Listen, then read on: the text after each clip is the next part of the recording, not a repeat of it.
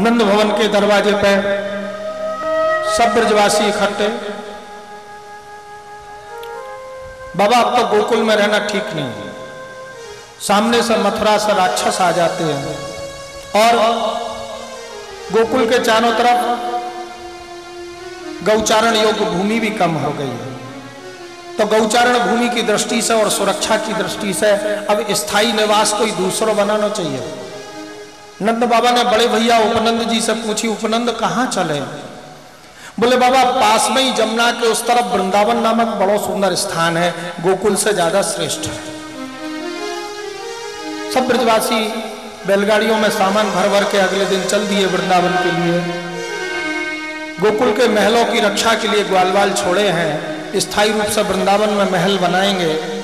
वृंदावन चले हैं। वृंदावन के सामने पहुँच के नाव का पुल बनाया है। नाव को पुल बना के सब बैलगाड़ी वृंदावन में लेके सब ब्रजवासी पहुँच गए वृंदावन।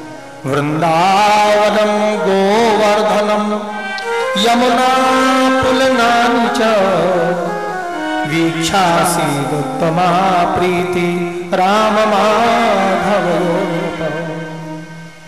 वृंदावन में राधा रानी ने स्वागत किया है। समस्त ब्रजवासी अर्ध चंद्राकार में है और महाराज अपने अपने बैलगाड़ी को रुकाए हैं। अगले दिन प्रातः काल आधे ब्रजवासी मकान बनाने लगे, आधे ब्रजवासी गाय चराने चले गए। श्री कृष्ण ग्वाल वालों के संग छोटे छोटे बछड़ा बछियाओं को लेकर जमुना किनारे गए। मामा कंस ने वृंदावन में मालूम पड़ी ब्रजवासी गोकुल से वृंदावन चले गए। तो कंस ने वृंदावन में बत्सासुर, बकासुर और अघासुर तीन राक्षस भेज दिए। बत्सासुर बछड़ा को रूप धारण करके श्री कृष्ण बलराम के बछड़ा बछियाओं में जाके मिल गए। भगवान पहचान गए। भगवान ने वत्सासुर दैत्य के पीछे जाके दोनों पैर पकड़ के उठा के घुमा के धड़ाम करके गोविंदाय नमो नमः। बछड़ा रूपधारी राक्षस को मार दियो।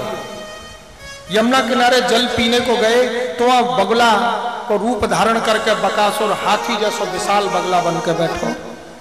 ग्वाल बाल कहने लगे, कन्हैया, रोज तो जमुना जी के किनारे एक एक हाथ के बगला दिखते थे छोटे छोटे बड़े।